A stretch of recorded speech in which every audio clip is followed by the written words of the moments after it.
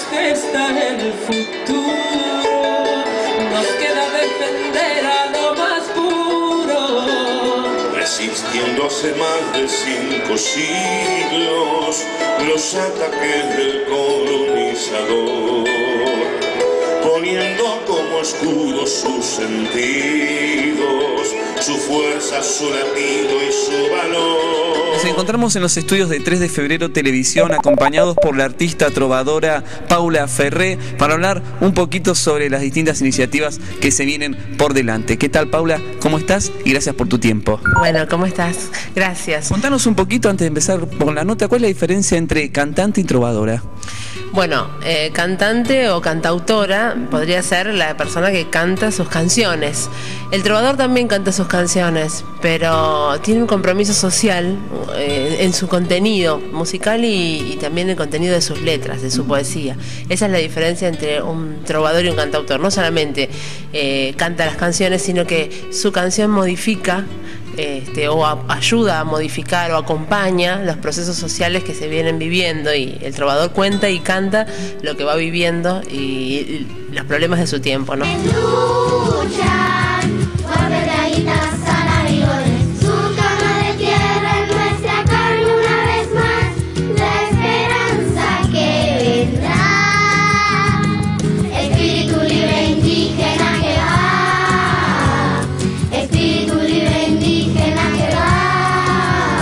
Estamos en proceso de la iniciativa, iniciativa Monumento Pueblos Originarios. ¿De qué trata la misma? Ponernos al tanto. Bueno, eh, se está haciendo un, monumento, el monumento a la mujer originaria. La mujer como emblema de, de- estos pueblos originarios.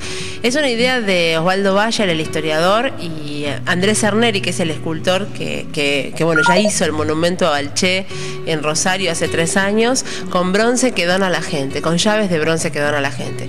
Bueno, este, este esta nueva idea es un monumento que va a ser un monumento de 10 metros de altura, un monumento colectivo, o sea, es una, una convocatoria nacional para que entre todos, todo el pueblo pueda hacer eh, un monumento de bronce. La idea es que este, no tenga subsidios estatales ni de empresas, sino que cada persona acerque una llave o, un, o algo de bronce que tenga en su casa que no, que no use y pueda ser parte, formar parte de este monumento de bronce más grande que va a tener la, República Argentina y que se va a donar al Estado de la Ciudad de Buenos Aires.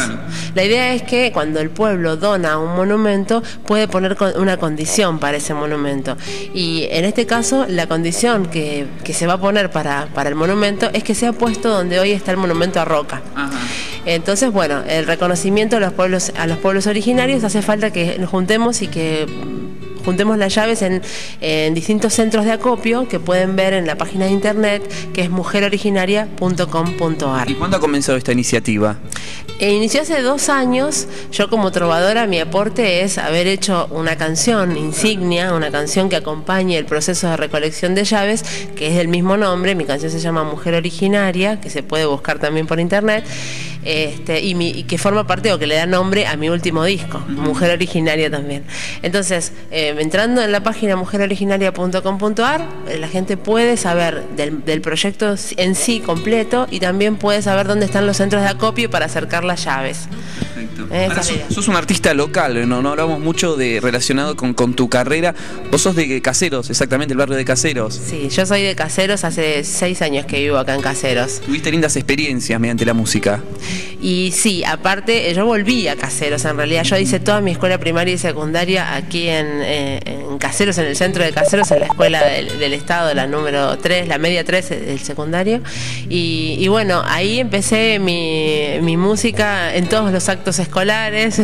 Yo soy toco la guitarra desde mis 5 años, así que la escuela ha podido ver el despliegue de toda la de todos los años en los cuales este, siempre me gustó la guitarra y, y- y bueno, pude poder volcar ahora de grande todo lo que yo he vivido en, en mis canciones. Bueno, pero gracias a la música pudiste viajar, por ejemplo, porque fuiste ganadora del Precosquín el año pasado. Contanos esa experiencia. Sí, Los sí. momentos más significativos, ¿no? Dentro de tu carrera. Bueno, lo, más lindo, por supuesto, en la, parte local fue haber compartido con otros artistas de, acá de Caseros el Precosquín, que estuvo muy bueno, y viajamos 70 personas en la delegación de 3 de febrero a Cosquín, y la verdad que fue una experiencia muy linda, la pasamos muy bien, este, y bueno, mi carrera me ha llevado a, poder representar al país en, en algunos encuentros internacionales de la canción de autor, en Ecuador, en Cuba, en Brasil, en Chile, y el año pasado tuve la suerte de ser invitada al Barnazán en, en España, en donde pude hacer el Bar- eh, Madrid, Barcelona y Granada